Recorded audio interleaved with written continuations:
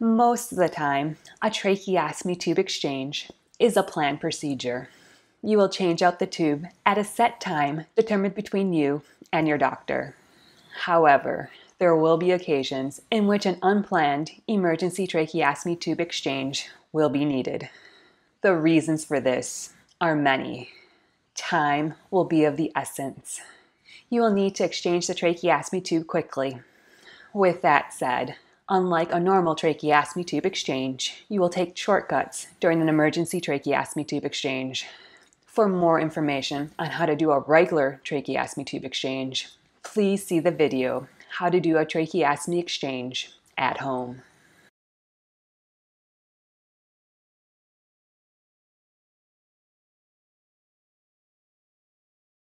Before beginning the tracheostomy tube exchange, if you have a cuff on your tracheostomy tube, make sure the cuff is deflated.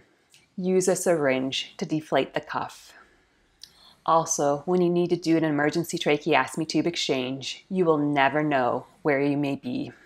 It is best to wash your hands with soap and water and dry them thoroughly. However, if a sink is not available, hand sanitizer will work. If you do not have hand sanitizer, skip cleaning your hands it is better to get the trach tube exchanged and the person breathing than to take precious time to try to find a sink and clean one's hands. Usually, during a tracheostomy tube exchange, you will replace the trach tube holder with a new one. However, during an emergency tracheostomy tube exchange, reuse the old trach tube holder if possible. If your trach tube holder has Velcro, simply unfasten the Velcro and leave the trach tube holder around the person's neck. If your trach tube holder has string which needs to be tied around the person's neck, you will have to cut the trach tube tie before exchanging the trach tube.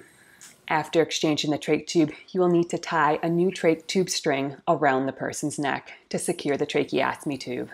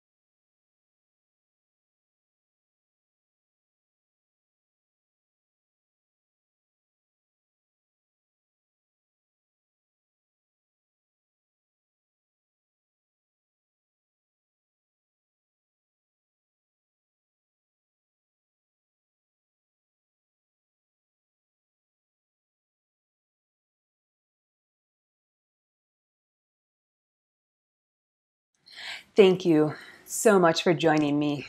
Please remember to like and subscribe down below. I hope you have a great day and a wonderful week. Bye bye.